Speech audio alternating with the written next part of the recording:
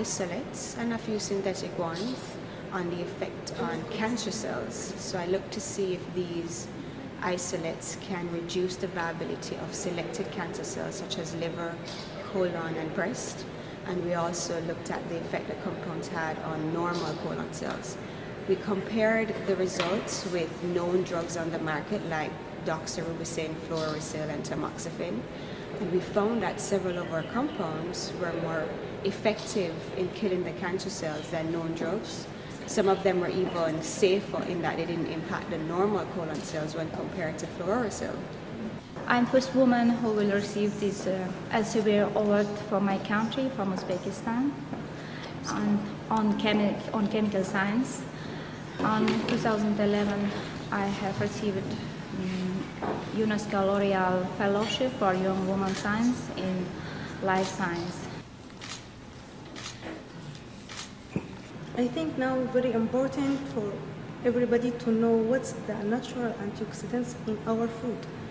Uh, it's very important uh, for the human health to know what's the natural antioxidant. I mean natural antioxidant uh, like vitamin E include uh, tocopherol, vitamin C, uh, also ascorbic acid, phenolic compounds, so many types of antioxidant in our uh, fru uh, fruit or vegetable. So we have to take uh, seven colors per day. I mean colors, uh, the natural color in our food, uh, like tomato color, cucumber color, so many things, so many color in our food. So this is colors is it's the natural antioxidant in our food. Um, these women will go back and they will make a difference in their countries. They have been given this award because they have shown to have made a regional and an international impact. Through the efforts of the Elsevier Foundation, the Organization for Women in Science for the Developing World and TWAS, the Third World Academy of Science, such an award is intended to assist women from the developing world with the challenges they face in doing science on a day-to-day -day basis.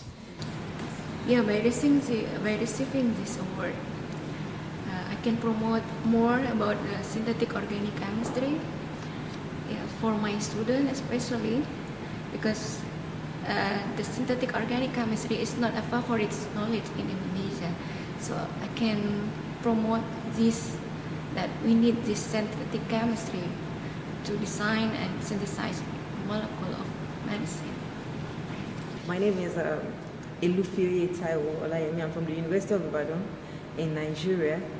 And um, I won this award from the Elsevier Foundation and it has been so great, so, so great.